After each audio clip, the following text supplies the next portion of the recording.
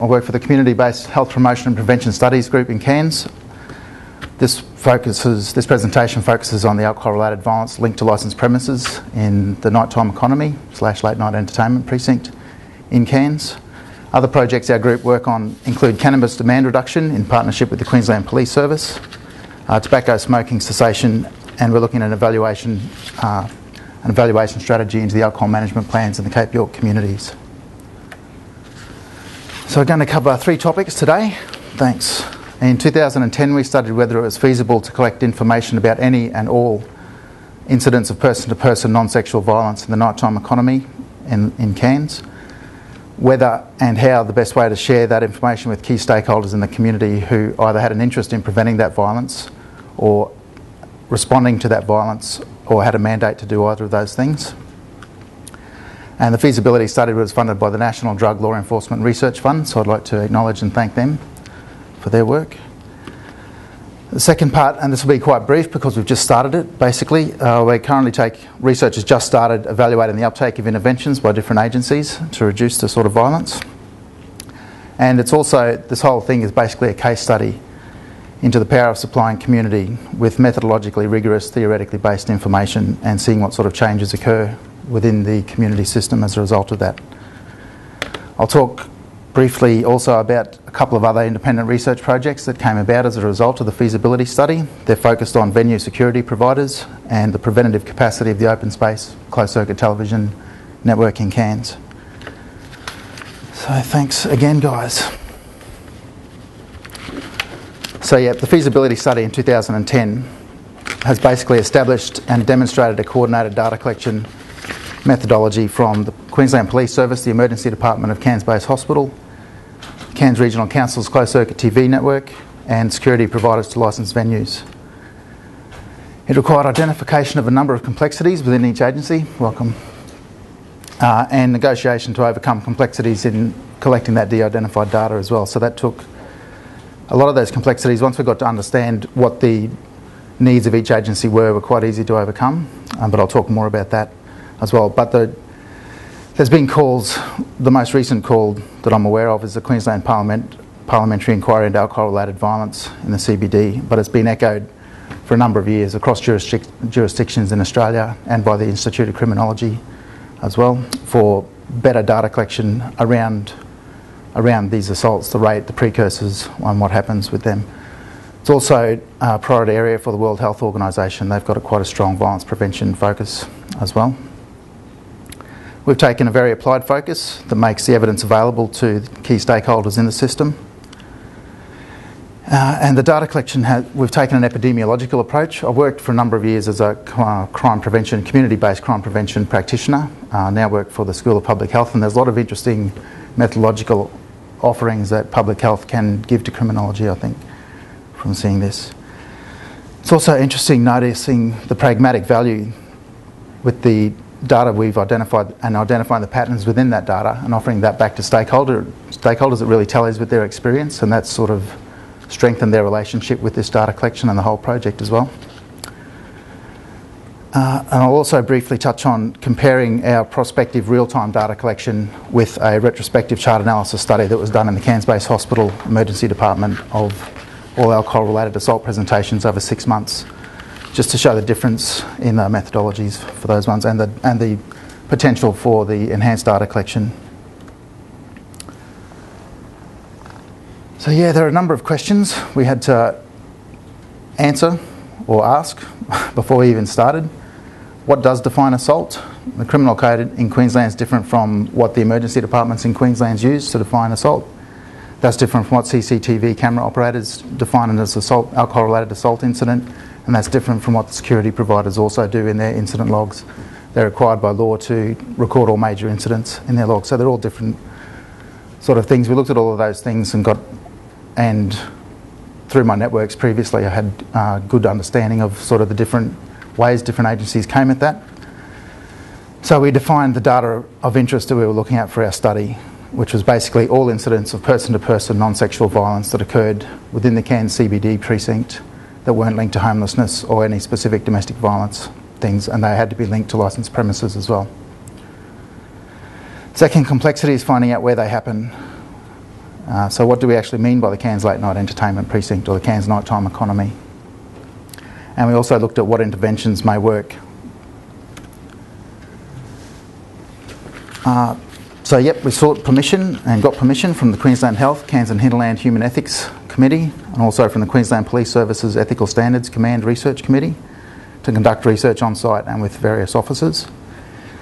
But an addition, additional important one, even though we had university ethics approval, uh, it was offered by the Cairns City Licensee Safety Association, which are key, key stakeholders and drivers of the liquor accord up there, that if there was a memorandum of understanding between the university and between themselves, then they would be more open to supplying information along these lines. So we did up an MOU, ran it past our lawyers, and I think that was a really strong way to overcome that potential blockage with the Licensees Association. So once the approval was received, we conducted 29 semi-structured interviews, and the respondents are listed in that table. So we tried to capture every, everyone in the stakeholder system. And the interviews were loosely themed around the impact of alcohol-related violence on their agency's workload, how they collected data relating to it at the moment, the potential to share data with other agencies, the awareness of existing interventions to address this sort of violence both within their agency and community level and within other agencies as well, and whether they were aware of any research into the economic cost of this sort of violence to their agency. That one was no, just a blanket no. No one's aware of any economic research into the cost of alcohol related assaults. So, yeah, we asked um, is collaboration possible for sharing information about the nature and occurrence of assault episodes? And is it possible to develop targeted strategies? What strategy components should be used? How should strategies be developed? Uh, who should be involved and how should they be implemented? And the last question was a triangulation just who else should we talk to to see, you know, to try and capture everyone. And defining, defining the late night entertainment precinct, as we call it, or the nighttime economy in Cairns, was quite quite an interesting thing. There was a, basically we provided everyone with a map of the city, and they hand drew the boundaries on it. We asked them also to hand draw where any hotspots were and to contextualise the reasons for that. So the police, venue security providers, liquor licensing, um, other liquor accord venue, other liquor accord involvers like liquor license. Oh, sorry, I said liquor licensing, but um, council staff, hospital staff, and others drew the boundaries and the violence hotspots on the map we provided. There's a very high level of consensus between uh, the boundaries and also the hotspots.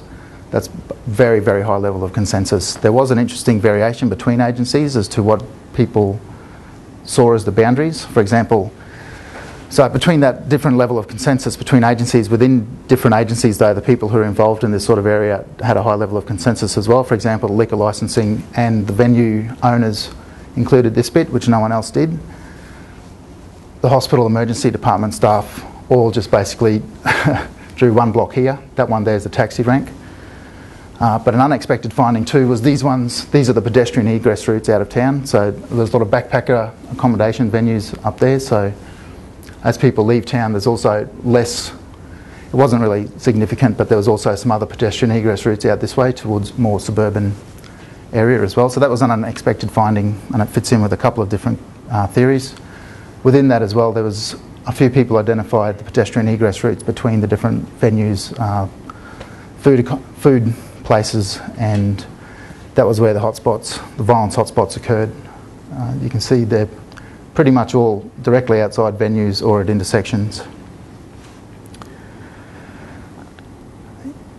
There are 26 venues licensed to trade after midnight on a Friday night in Cairns, and after lockout at 3am, there's still eight premises licensed to hold 4,642 people.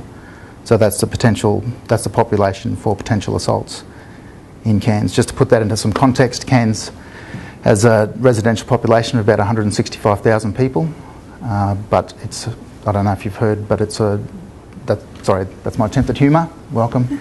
but uh, it's also an international and domestic tourist uh, location as well. So we had 550,000 visitor nights last year, of which 27% came from the UK. Some of the suggested interventions from interviews are listed here. These are only the ones about 30% and above. A, and it's an initial analysis of the qualitative data. Um, we're writing up a number of papers based on this study at the moment, so I won't get too much into some of the things. But it's interesting to note that every person, every person, in addition to the 29 formal semi-structured interviews, we conducted another five open discussions, basically that weren't actually documented. They were documented, but they weren't analysed in the same way, uh, and that was just for, for reasons relating to those agencies. But it's interesting to note that every person we spoke to talked about a change in a generational change in drinking and a culture of determined drunkenness coming up. There was also 20% of people talked about educating magistrates for higher penalties. Another 20% talked about targeting repeat offenders and banning them from the late night entertainment precinct uh, under a liquor accord strategy, which has since been implemented. Another 20% talked about ID scanners in clubs, so you go before you're allowed in, you show your licence, it gets recorded, and that's linked with the uh, banning of repeat offenders. And some other stuff, another 10% of people talked about distributing breathalyzers for people to breathalyse themselves at around 2 or 3 o'clock in the morning in the city place or within venues. And there was a couple of emergency department nurses, and this is the only place this came from, but they thought it was a great idea was to do some naming and shaming strategy and have a wall of shame and texting people's parents when they had to come and pick them up from the emergency department. Another interesting finding is that uh, there was some comment that different venues attract different types of clientele. For example, on a rhythm and blues night, they can guarantee there can be trouble, they said. And so where the groups mixed in those pedestrian pathways and the egress points is where the violence tends to occur. So that was the qualitative side. The quantitative data collection was the other part of the feasibility study, or uh, in addition with the feeding the information back to the agencies and the stakeholders. So the critical processes in the quantitative data collection, it was all about the relationships in the end. It was all about getting in there. We conducted observational sessions, staff educational workshops, getting people to have buy-in about how this project could reduce their workload basically, and getting an understanding of the complexities that these people have to face and how to overcome those things so that they'd be happy to collect the data, linking that back to if you do collect this data, then we can offer it community wide interventions or agency specific interventions that can reduce your workload over time. So there were a number of previous relationships that we hooked into, and and but the new relationships were specifically with the emergency department, so that was a totally new thing. And we did different agencies have been trying to get into the emergency department, and I'll talk more about that later on. But that was a big thing. The identification of potential patient records was a big issue as well for them, but we overcame that quite quickly and very early on by use, collecting de-identified data. I'll talk more about the details about that as well everyone we spoke to said they were sick of it. You know, emergency department nurses, doctors, police, community safety officers, security officers, they're all just sick of it. And so they were keen and they became champions within their own agencies to go out and sell it to people. Uh, and we also provided some research evidence to help build that relationship about, you know, there's research, Australian research and UK research that shows that during peak periods up to 70% of emergency department presentations are alcohol-related assault um, yeah, a lot of people are very frustrated. Uh, and staff safety is also a very important issue in the emergency department as well. Intoxicated people presenting frustrated, have been assaulted or involved in a violent altercation.